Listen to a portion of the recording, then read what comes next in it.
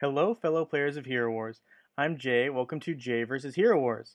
Today I will be talking about Hero Wars Mobile and basically an updated uh, July calendar, if we will, of events to expect. Um, I know I did post one earlier, but basically people have been asking me to, um, you know, talk about the updated list because some events seem to have been moved around. So without further ado, let's get into it.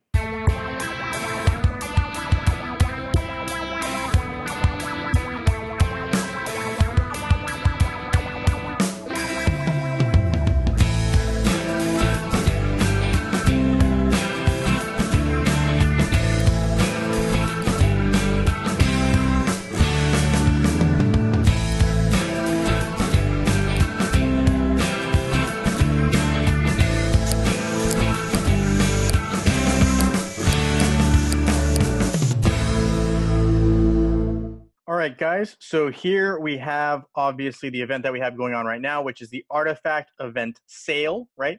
Everything is 25% off. Um, it does say here, right, 10 chests for 600 emeralds and for 100 chests, 5,625 emeralds.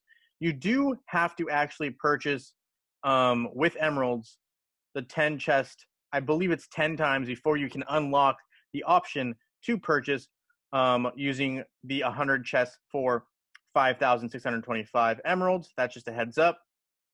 Um, I still don't really recommend uh, spending much, of, if anything, on this event um, because the next event is also a emerald spending event, which is all about Titans, right? So Call of the Titans. Um, we have, as we know already, five spheres will cost 525 emeralds and 50 will only cost 4,876. So that's a pretty good deal. Um, granted, it is still pretty pricey in terms of emeralds, but if you can swing it, I would say if you had the choice between the event we have going on right now and the next event, the next event called Titans may be more beneficial because Titans are crucial when it comes to Guild Wars. Um, so this is the new event that obviously um, Hero Wars Mobile uh, the actual page itself, right, has been teasing uh, the Darkness Falls event, which is supposed to be a major event. Um, here we know it's gonna, you know, probably last seven days according to this, but we don't know exactly the time frame. If it's gonna fall like July 10th all the way to July 20th, we're not really sure what's going on there. Um, but basically, that's kind of the date range we're expecting. And it's going to be very similar. You're going to have bosses that you can beat daily, as well as some like minor quests um, on the campaign map, right? So there's gonna be a separate campaign map, um, and you can basically complete different tasks and get rewarded for it. Um, also, usually there is like a little um, side thing where you can collect these like rewards, so you can battle the bosses. Um, I believe usually it's like you collect five, and then and then you can battle the boss. So for those of you guys who have played a while, you guys know what I'm talking about. For those of you who don't, you'll see that coming up soon that's going to be probably a major event. A lot of people are saying we're going to have two new heroes, uh, Corvus and Morgan. Um, as for the exact abilities, unknown right now. Uh, we're just going to have to sit and wait, I believe. Um, and then, of course, right after that, you have the Orion event, um, which is going to be, you know, basically three days, I think. So usually they start like at night, for me at least.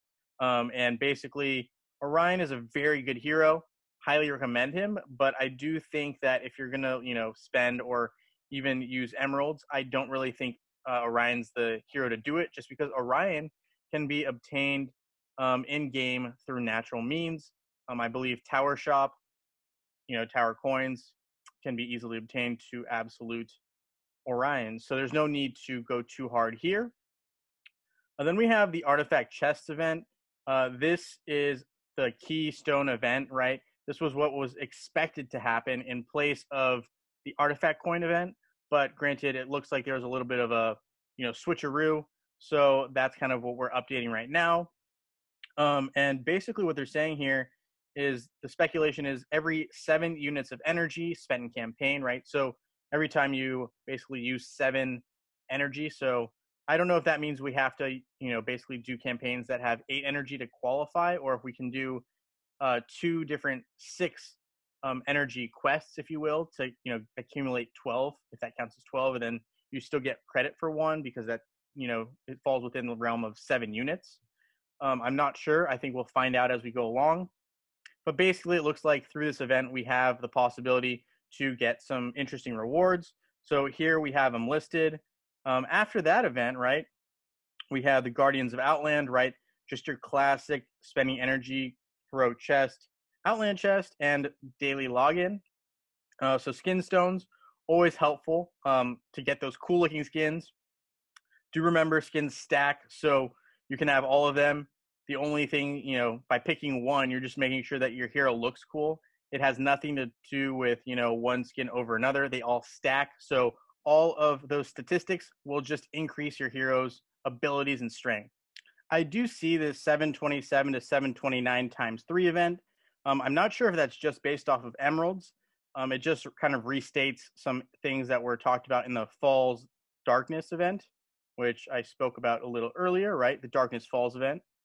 Um, and then finally, right, we have um, event wise in terms of things you can accumulate. You have Faceless, which again, you can get in the Highwayman shop. So there's not really a big need to, you know, go crazy and spend here. You can get him absolute um, just through normal means, just like I was talking about with Orion. Very good hero, Faceless, um, very versatile. Um, and basically, yeah, he's a very good hero. I recommend you get him, but don't go crazy in terms of spending just not necessary. Um, right after this, it looks like you have the times four sale, which a lot of people always ask about, um, towards the end of the month. So that's what we're expecting here. Um, that's basically what we're looking at. I know there's some additional updates in terms of like uh, financial stuff. I guess I can just scroll down here. But basically, for me personally, as a free to play player, um, I just don't need it.